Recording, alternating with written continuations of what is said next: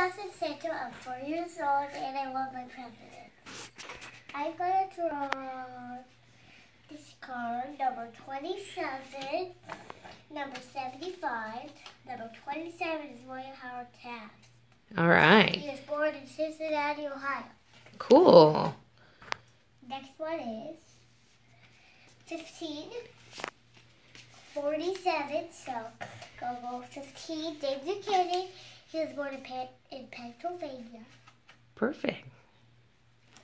Next one is 1648 So I'm going to go 16. And this guy is Abraham Lincoln. What do you know about Abraham Lincoln? He was born in Kentucky. And he um, also, he also was a president during slavery. Yes, he was. Three. Who's that? and 25. Three is Thomas Jefferson. He was born in Virginia. And for 45 is John F. Kennedy.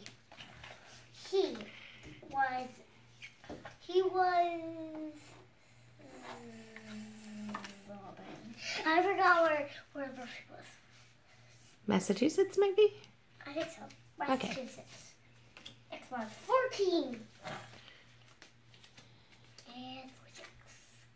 So, number 14, I can't say but number 14 is Franklin Pierce. Okay. He's one of my favorite presidents of cool.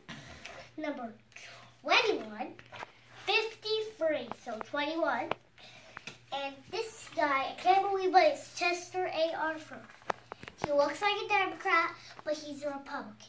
Oh, okay. He was born in Vermont. He's the only president that's born in Vermont. Oh, I didn't know that.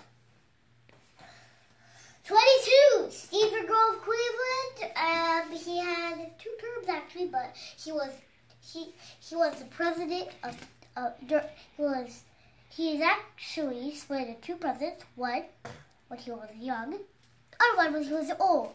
Yeah. And he was born in oh man, I forgot, but but Meh. Four.